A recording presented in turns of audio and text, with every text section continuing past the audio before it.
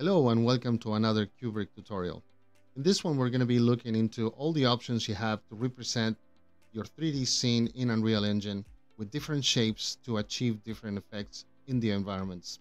We're going to look into your common 3D plane, the C-Cove stage, and also the arrow stage. Let's jump right in and see what each one of these represent.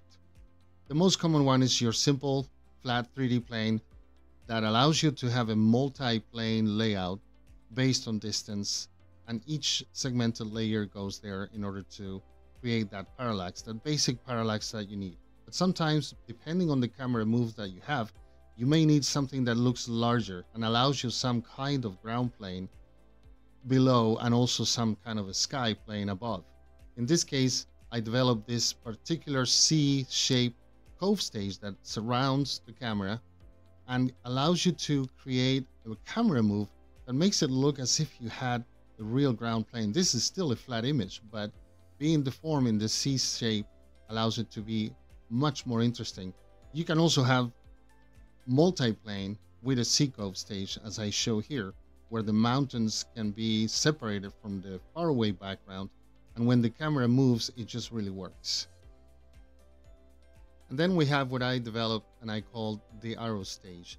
When I needed a much further vanishing point and create that really vast environment with a ground plane and a sky, this shape seems to be working very well to represent that and see that ground parallaxing below you.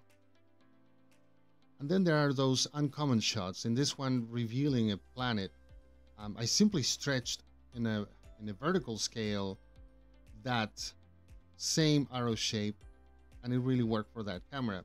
All of these combined can give you a wide arrangement of what you need in order to represent any particular environment and each case is very different. So remember that you have many choices and all of these can work in conjunction as we see in this particular shot where I also added some fog to make it more interesting and see some motion. Thank you for joining us today on this tutorial. We hope to see you on the next one.